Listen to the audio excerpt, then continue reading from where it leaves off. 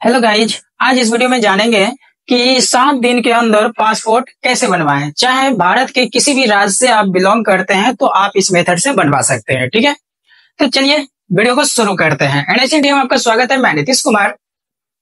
देखिए passport generally दो तरह का बनता है। एक ईसीआर कैटेगरी में बनता है, एक नॉन ईसीआर कैटेगरी में बनता है। अब देखिए ईसीआर कैटेगरी में किसका बनता है? जो व्यक्ति पढ़े लिखे नहीं है तो उनका ईसीआर कैटेगरी में बनते हैं।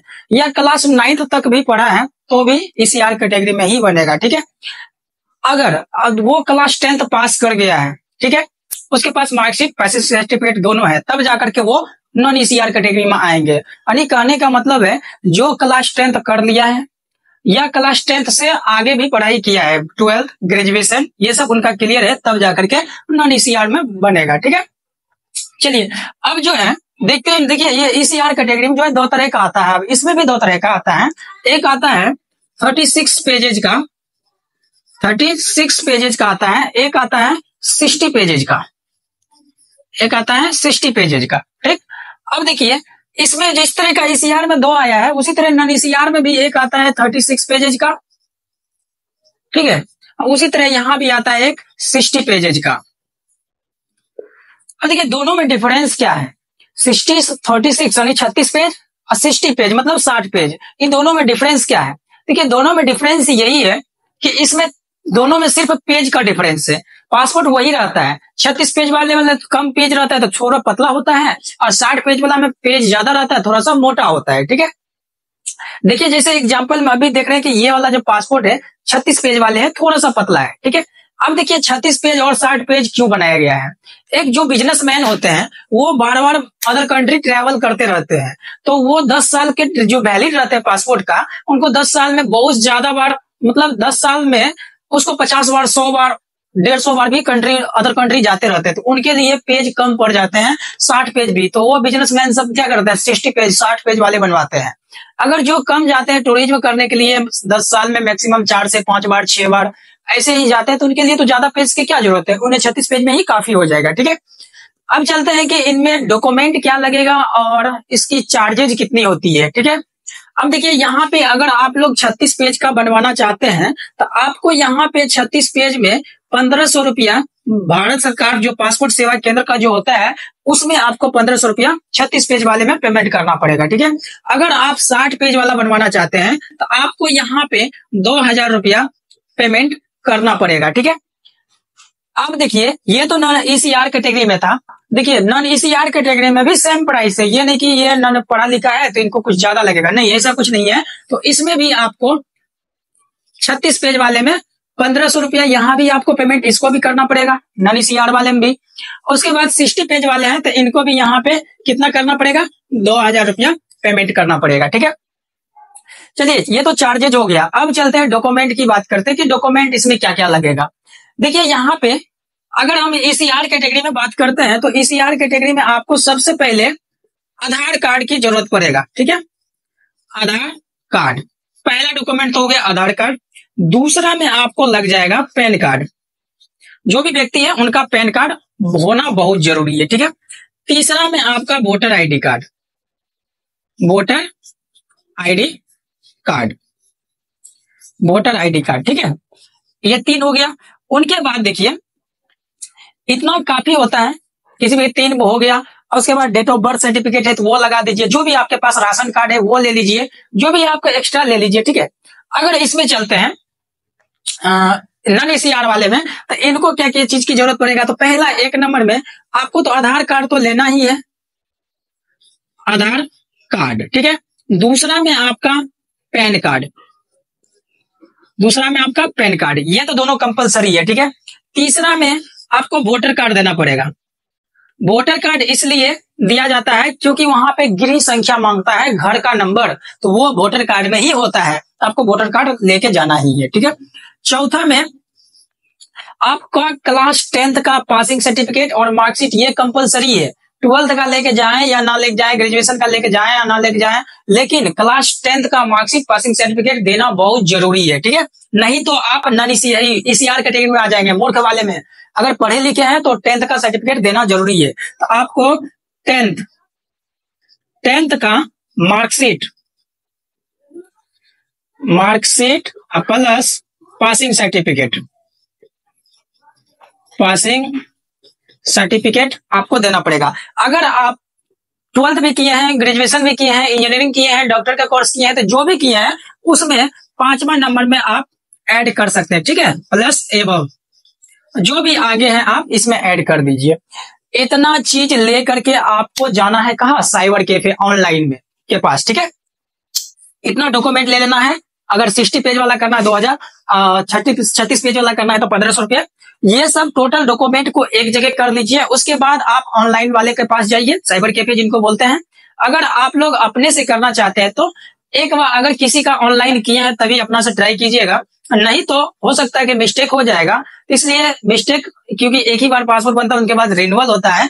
इसलिए आप लोग मिस्टेक ना करें डायरेक्ट साइबर कैफ़े चल जाए। वहाँ से एकदम आसानी से अप्लाई अप्लाई करवा लीजिए, ठीक है? देखिए, जैसे इस सब डॉक्यूमेंट से आप ऑनलाइन कैफ़े में जाएँगे, वहाँ आपको अप्लाई करके एक एप्लीकेशन आपको दिया जाएगा, ठीक है?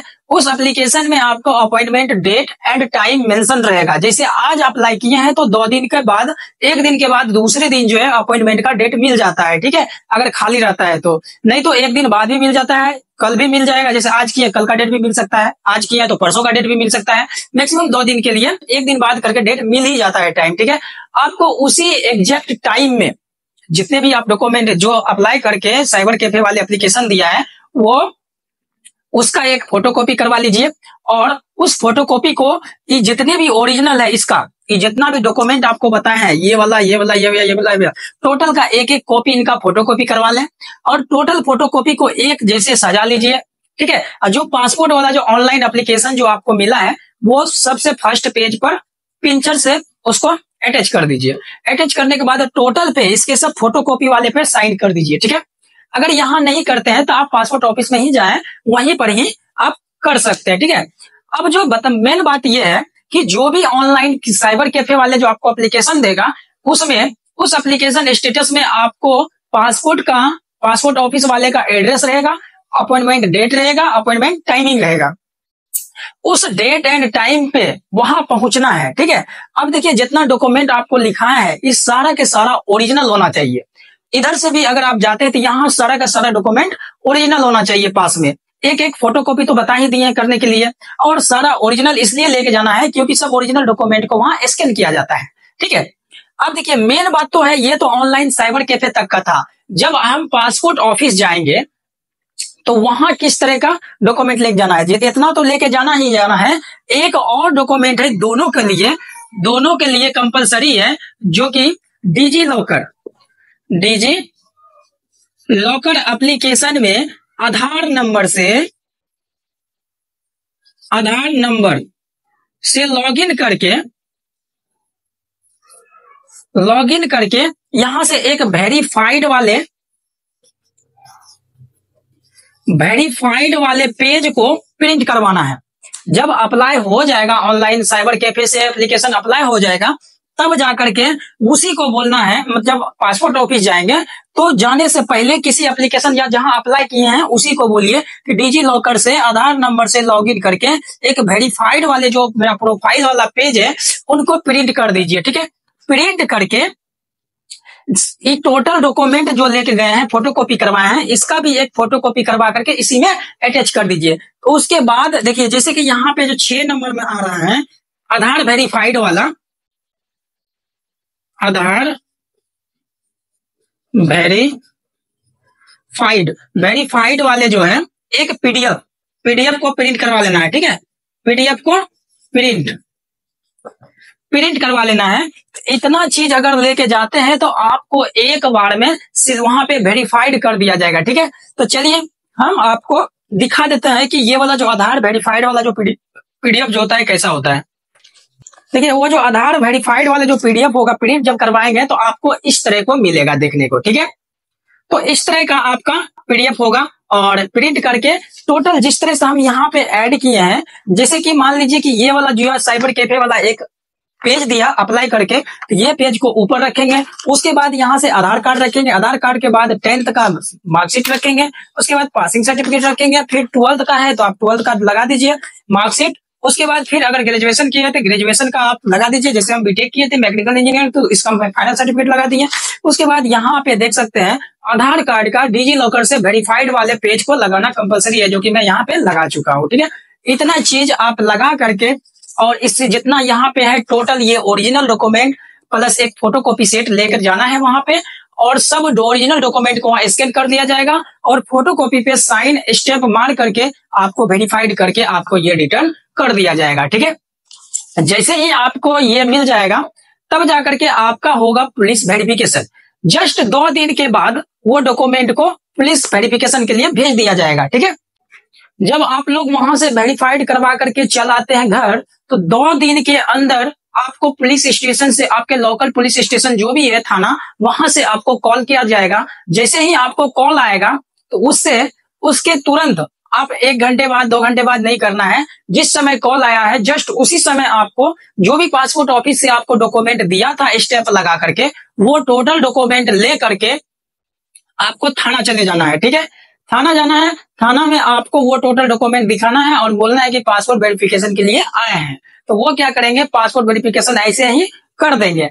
अगर मान लीजिए किसी किसी थाना का बात करते हैं तो वो क्या बोलते हैं कि आप एक एफिडेविट बनवा कर लाइए कि हम यहाँ पे मतलब पासपोर्ट वेरिफिकेशन करवाने आए हैं और मेरे पर किसी तरह की कोई केस केस उस नहीं है। ठीक है? किसी से लड़ाई झगड़ा नहीं है तो वो एक एफिडेविट कहीं कहीं कोई किसी भी थाना में लेते हैं। कहीं कहीं तो ऐसे भी कर देते हैं। ठीक है? तो पुलिस वेरिफिकेशन के जस्ट दो से तीन दिन के बाद बाय पोस्ट, पोस्टमैन के द्वारा आपके घर पे कुछ इस तरह का पासपोर्ट का बॉक्स आएगा, ठीक है?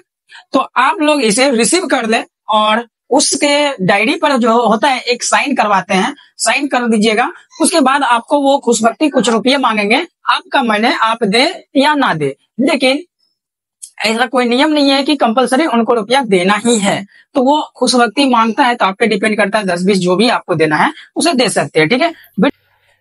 यदि इसमें किसी भी तरह का कोई सवाल है तो हमें कमेंट में ज़रूर पूछ सकते हैं और इनका जवाब बिंदास मिलेगा। थैंक यू वीडियो कैसा लगा कमेंट में ज़रूर बताइएगा। वीडियो पसंद आया लाइक करें शेयर करें चैनल पर पहली बार आए तो प्लीज़ सब्सक्राइब कर लें। Thank you